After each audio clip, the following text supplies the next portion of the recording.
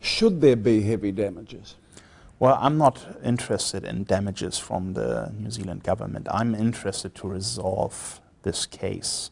I'm interested for people to realize, the people who attack me, that they made a mistake and that this needs to be resolved in a diplomatic fashion and soon because this is just going to drag on it's going to hurt everybody it's going to embarrass those who are attacking, attacking us and there's no point in taking this uh, further. If you got damages, of course, I suppose that could go some way to paying for a new broadband cable across the Pacific. Yeah, but if I would seek damages, I would not seek them in New Zealand. I would seek them from the US government, which has acted in bad faith. Mm. And I would seek that also from Hollywood studios, who are paying the MPAA and Chris Dodd, you know, to do this kind of thing. Mm. And uh, I think they are, they are liable because uh, you know, there's been a lot of bad faith and a lot of misinformation